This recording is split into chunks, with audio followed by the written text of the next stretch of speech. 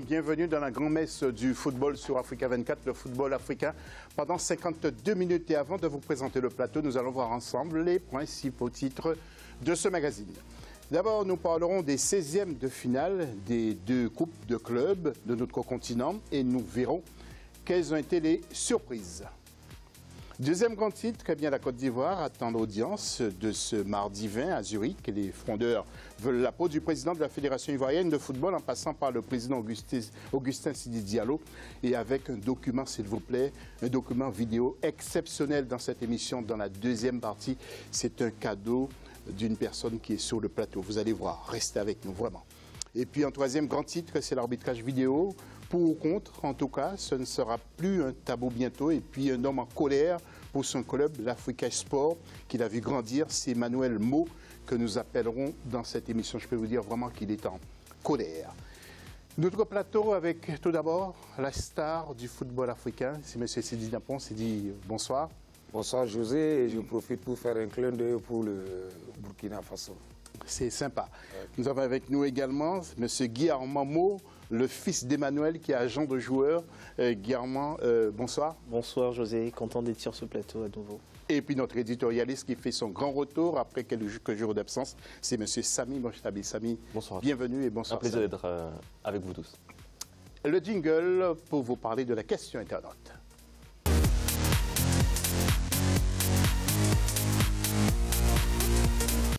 Et quel bilan, donc, depuis l'arrivée de M. Ahmad Ahmad à la tête de la CAF? Vous intervenez sur Facebook, Africa24 ou sur Twitter avec l'hashtag Africa24. N'hésitez pas donc euh, à nous retrouver sur les pages, euh, sur les pages pardon, Facebook euh, et puis aussi Twitter de l'Africa24 Football Club. Tout de suite, la une de ce magazine.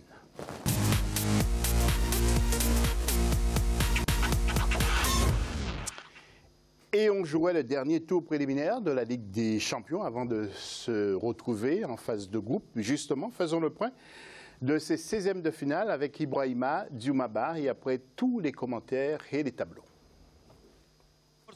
Malgré le suspense après les matchs allés, les 16e de finale retour de la Ligue africaine des champions de football ont tenu toutes leurs promesses. Les surprises sont venues de la République démocratique du Congo et du Soudan, où l'AS Vita Club de Kinshasa a été sorti par le Difa Hassani Del Shadida et Al Hilal a été dominé par l'AS Togoport. Les grandes équipes ont assuré l'essentiel. Le champion en titre, Wydad Athletic de Casablanca, a dominé Williamsville. Parmi les qualifiés, il y a le TP Mazembe, l'Espérance de Tunis, l'Étoile du Sahel, Mamelody Sundowns, Zesco United de Ndola, Mouloudia Club d'Alger et Al Ahli d'Égypte. On note aussi la qualification des Algériens de l'entente sportive de Sétif. Pour leur première fois, certains clubs accèdent à la phase de poule de la Ligue des Champions. C'est le cas de l'AS Togoport de Lomé, Oroya AC de Conakry, Kampala Football Club, Mbaban Swallows du Zimbabwe et de Township Rollers du Botswana. Et avant de retrouver quelques commentaires, sachez tout d'abord eh que pour la Ligue des Champions et les 16e de finale eh qui ont eu lieu pendant ce week-end, eh les 16 équipes qualifiées seront reparties dans quatre groupes et joueront le, du 4 mai au 29 août. Les 16 équipes éliminées seront reversées en Coupe de la Confédération et affronteront les 16 rescapés de cette Coupe de la Confédération lors d'un tour de cadrage du 6 au 8 avril en match aller du 17 au 18 en match retour. Avec ces tableaux, nous allons commenter. Tout d'abord, Samy, qu'est-ce que vous retenez euh, précisément euh, Donc, on peut dire que le TP Mazembe est passé. Il y a Oroya. Euh, c'est pas une surprise Oui, le TP, non, justement, c'est un, plutôt un beau plateau. Il y, a, il y, a, peu de surprises. à part, on peut aussi parler de l'élimination de l'AS Vita Club pardon, face au Difa El Jadida, le club marocain. C'était quand même une petite surprise, parce que l'AS Vita a quand même prouvé sur la scène continentale qu'ils avaient les, les moyens euh, de performer. Donc non, c'est un joli plateau. Quasiment tous les, euh, les grosses équipes euh, africaines sont là. Donc ça promet des belles phases de poule, même si on sait que voilà, le, la vraie compétition commence à partir des, des, quarts de finale. Mais au moins, voilà, tout le monde est là. Mmh. Ça nous promet une belle compétition et on a hâte de voir ça. Williamsville, c'est la petite équipe de euh, notre ami Didier Drogba, euh, qui a résisté et qui va être reversé en Coupe de la Confédération. Vous qui êtes ivoirien, euh, mon cher Guy, qu'en pensez-vous? Williamsville, c'est, moi je dirais que c'est une belle surprise. Déjà, ils perdent au match aller 7 à 2, je crois. Mais il faut quand même les féliciter. Ils ont quand même gagné 2-0 à la maison. C'est leur première participation. Et c'est de bon augure, je pense. C'est une bonne surprise. Oui, une très très bonne surprise. Alors, euh, Sidi, avant de vous retrouver, donc nous allons préciser les équipes qui se sont qualifiées. Il y a l'équipe d'Ouganda de KCA, il y a Baban Chalo de Swaziland, il y a Widad Casablanca qui est toujours là. Il y a également Al d'Égypte. Il y a Mouloudia d'Alger. Il y a Oroya de la Guinée. Il y a Tomship Rollers de Botswana. Il y a TP Mazembe, que vous connaissez également, qui est là. Euh, Primero Agosto qui est là. Il y a Entente Sétif qui est là également, une autre équipe algérienne. Il y a les Tunisiens d'Espérance. Il y a Étoile du Sahel. Port de Lomé, donc du Togo. Zesco United, Svita Club et Mamelody Sundown, qui est également qualifié. Un petit mot, c'est dit? Un petit mot, il faut remarquer, ce que je voulais ajouter, c'est quand même euh, le football euh, marocain, en fait. Aujourd'hui, ils ont deux équipes qui sont qualifiées euh, pour le, tour prochain. Mhm. dit que ce pays qui est le Maroc cette année, je pense que c'est leur chance. Ils commencent à vraiment monter dans le football africain. Ils ont remporté Chan et puis maintenant c'est les coupes africaines. Où ils sont, il y a deux équipes qui sont qualifiées. Donc c'est quelque chose à retenir et à, à surveiller de près. Oui, et puis en Ligue des Champions, les équipes du Maghreb sont toujours bien présentes. Hein. Oui, c'est vrai, c'est vrai. Enfin, c'est plus la Tunisie qui, la Tunisie et l'Algérie, c'est comme l'année dernière. Hein. l'année dernière, bah, Louis qui a, mm-hmm. qui a enfin, enfin, il a, il apporté un peu de lumière, mais c'est exactement ce que ce que dit Sidney Il y a, une mm-hmm. dynamique dans le football marocain qui a touché mm-hmm. euh, les sélections et qui a ensuite découlé sur, sur les clubs. Et donc c'est vrai que ouais, c'est on va dire c'est une embellie pour le football marocain. Ça faisait un bon moment qu'il n'y avait pas eu ça. Oui. Alors pour le football, une toute dernière question. Pour le football tunisien, c'est une bonne chose aussi pour les sélections peut-être aussi.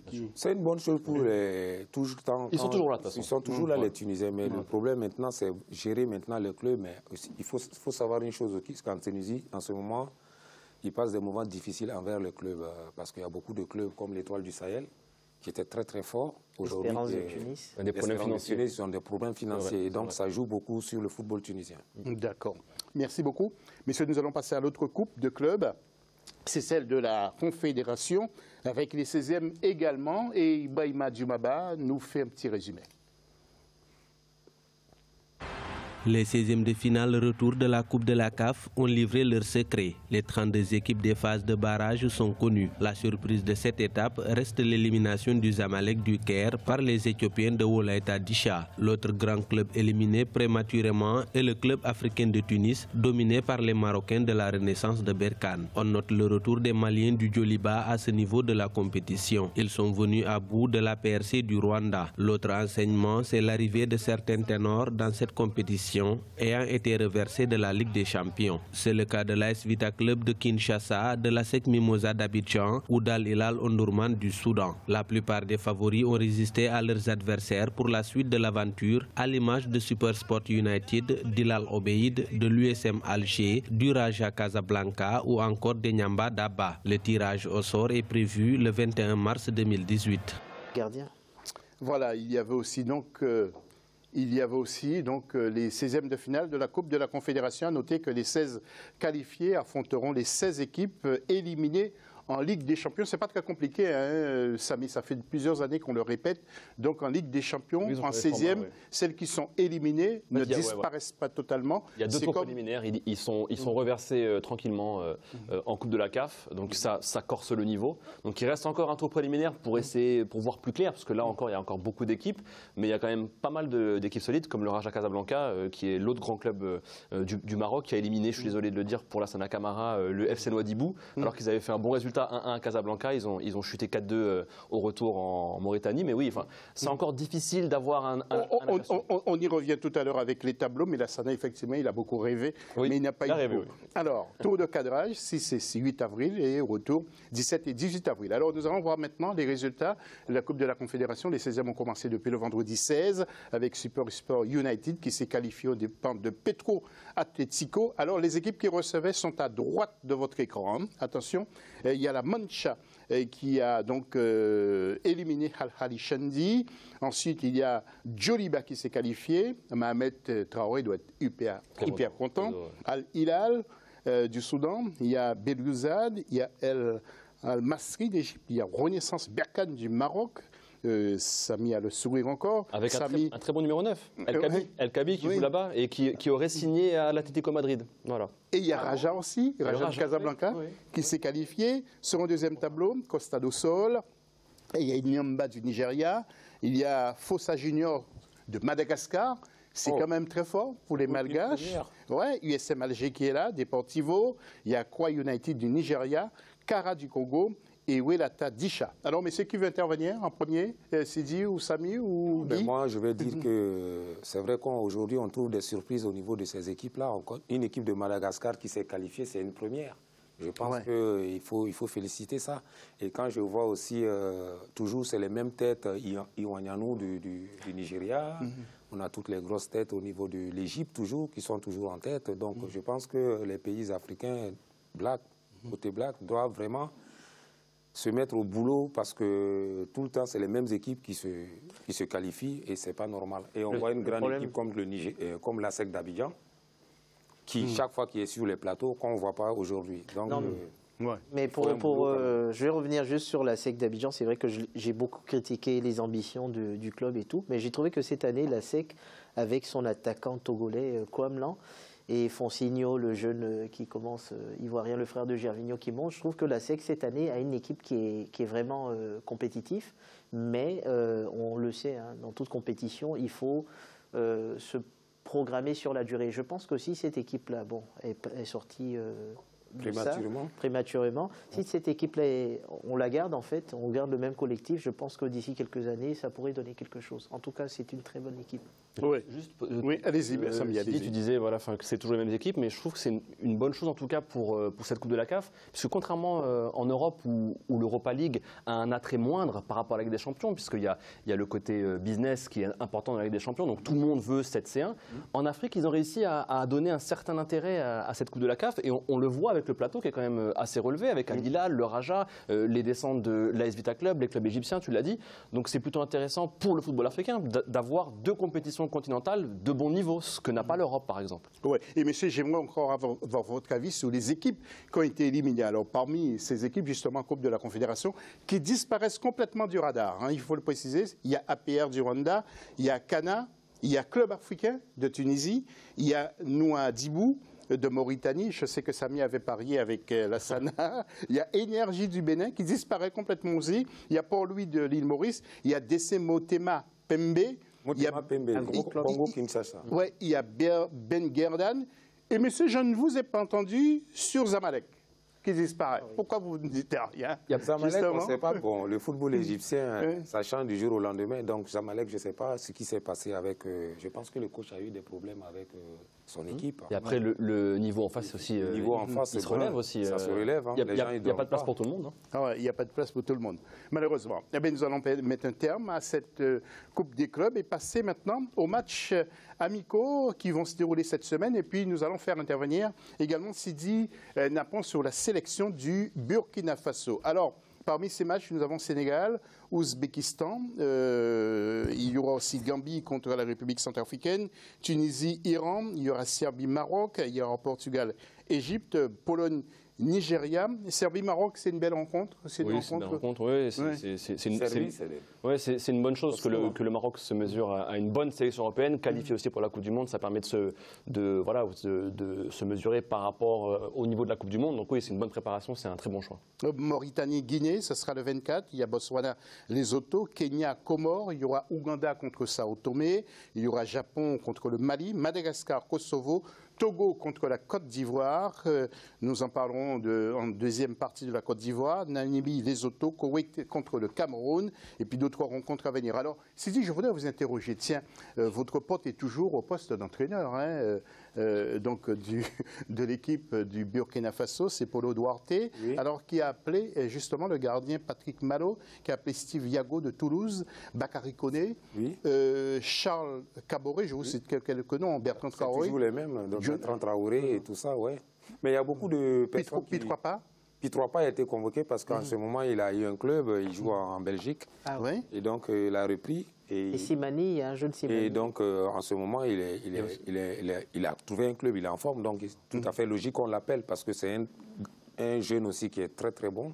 Euh, avant, on de ne peut pas laisser, se passer de lui. avant de laisser la parole à, à- à- à Samy, je voudrais juste vous citer encore quelques noms.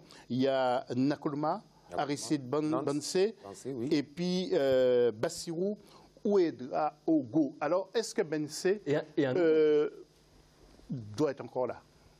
Mais Bansé doit être en toi, là, il a prouvé. On doit le convoquer, même s'il a euh, actuellement. Mais ben, en c'est- sélection, vous les gens ils disent bon, écoute, euh, il ne doit pas jouer ou quoi que ce- Actuellement, il, il a Mais un il ne joue pas où 90 minutes. Mais c'est l'entraîneur qui décide dans ce cas-là. Mais, Mais- mais- Bansé, mais- mais il ne sait pas- il il ne sait mérite pas. d'être Oui. appelé parce qu'il a fait Moi, de je suis, pour la moi, je, suis d'accord Si- sur le fait qu'il mérite d'être. pas- euh, Bon, non, mais moment, il faut soyons, réalistes. Est-ce qu'il tient 90 minutes?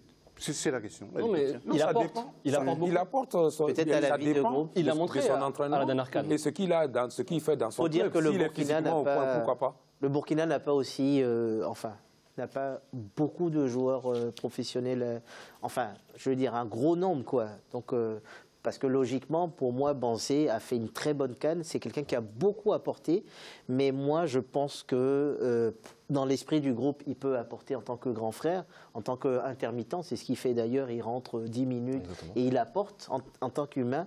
Mais je pense que, en fait, moi, je pense que s'il y a vraiment, c'est le problème des. Je parle de tous les. les Allez-y vite. Guy, parce Oui, que le problème, c'est juste qu'on a du mal à intégrer les jeunes très rapidement. Moi, c'est ce que je pense. hein. Samy? Juste, on n'en a pas parlé. euh, il y a aussi un nouvel appelé euh, qui me semble avoir accepté la sélection du Burkina, c'est Brian Dabo. Et euh, oui. c'est une, énorme plus-value, moi je pense, pour cette équipe euh, du Burkina. Je l'avais lu euh, dernièrement et j'avais été, euh, j'avais été plutôt surpris et agréablement, agréablement surpris pour, pour le Burkina. Pour, pour moi, c'est une bonne pioche. C'est un joueur de 24 ans qui a l'expérience de la Oui, Ligue 1 mais et qui va qu'il a apporter. compris maintenant Oui, qu'il ne peut plus être sélectionné exactement. en équipe de France qu'il C'est il pas- est venu. c'est pas Et, ça commence à, être séduisant. que- Ça commence à être beau avec Traoré, Dabo. Il y a des joueurs intéressants au, au Burkina. Ils sont passés pas loin de la qualification. disais, maintenant, Ok. il commence à Ouais. avoir. Non, le problème, c'est que- Merci, messieurs. Donc, je voulais dire que. Mais, mais rapidement, parce que sinon je Oui, vais faire rapidement, maintenant oreilles. que l'équipe nationale du Burkina Mm. monte, il y a beaucoup de- d'expatriés maintenant, ceux qui étaient nés en Europe, et tout, ils veulent tous venir maintenant, donc euh, Mm-hmm. ils n'ont qu'à faire le choix plus tôt, c'est ce que je veux, je dire. D'accord. Voilà. C'est Parce Messieurs, que ça ne va pas de l'autre côté que tu viens. quoi. Donc, voilà. Mesdames, messieurs, restez avec nous. Vraiment, je vous assure, dans cette deuxième partie, Eh, il y a un document. Non, non, il y a, il y a une vidéo exceptionnelle. Le foot champagne, on l'a aimé, on l'aime toujours et vous allez voir. Ce sont des images que vous n'avez peut-être jamais vues dans votre vie. Restez avec nous à tout à l'heure.